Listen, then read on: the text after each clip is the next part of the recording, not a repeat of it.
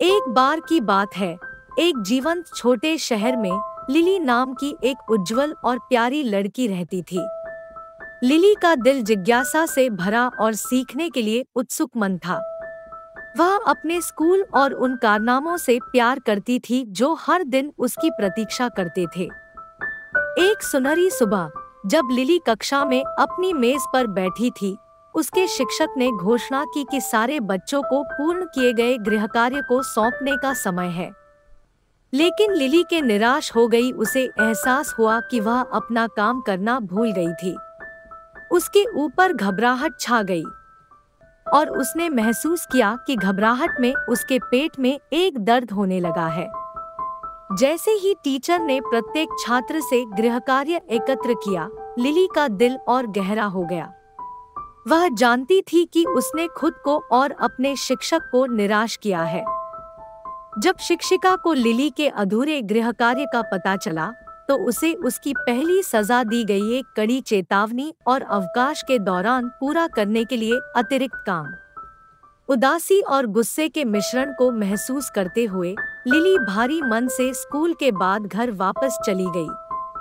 जैसे ही लिली की माँ ने अपनी बेटी के उदास चेहरे की एक झलक देखी, उसे लगा कि कुछ गड़बड़ है। उसकी आँखों में चिंता के साथ उसने धीरे से पूछा, आज स्कूल में क्या हुआ, मेरी प्यारी लिली? दुखी मन से लिली ने अपने गृह कार्य और परिणामी सजा को भूलने की कहानी साझा की। अपने आप में निराशा व्यक्त करते हुए लिली की आँखों में आँसू आ गए। लिली की भावनाओं के भार को समझते हुए उसकी माँ ने उसे अपने पास बुलाया और ध्यान से सुनती रही। सुखदायक आवाज़ के साथ लिली की माँ ने उसे आश्वस्त किया कि गलतियाँ करना सीखने और बढ़ने का एक हिस्सा है।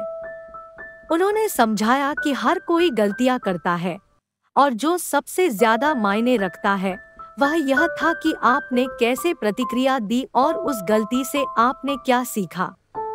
लिली की माँ ने उसे याद दिलाया कि वह इस स्थिति को बदलने में सक्षम है।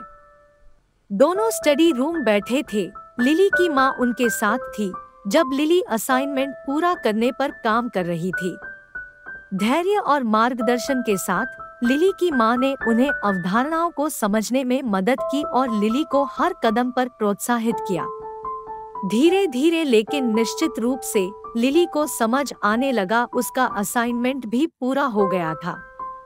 जैसे ही उन्होंने काम खत्म किया, लिली की माँ ने देखा कि उनकी बेटी की आँखों में खुशी लौट आई है।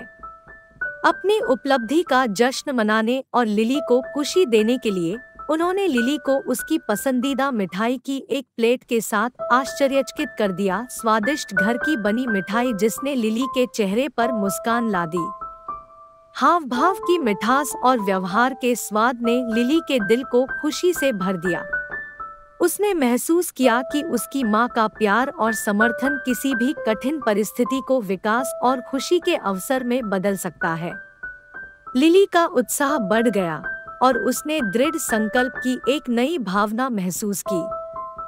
उस दिन से लिली समझ गई कि गलतियाँ दुनिया का अंत नहीं थी। अपनी माँ के अटूट प्यार और मार्गदर्शन के साथ वह चुनौतियों का सामना कर सकती थी, उनसे सीख सकती थी और एक मज़बूत और अधिक लचीले व्यक्ति के रूप में विकसित हो सकती थी। और इसलिए लिली और उसकी माँ ने विपरीत परिस्थितियों पर विजय की मिठास को साझा किया। उन्होंने एक साथ सीखने की यात्रा को अपनाया, उन अनमोल पलों को संजोया जो उन्हें करीब लाए और प्यार और समझ के गहरे बंधन को बढ़ावा दिया। अगर आपको मेरी कहानी पसंद आई हो तो मेरे YouTube चैनल को सब्सक्राइब, लाइक, शेयर करना मत भूलना।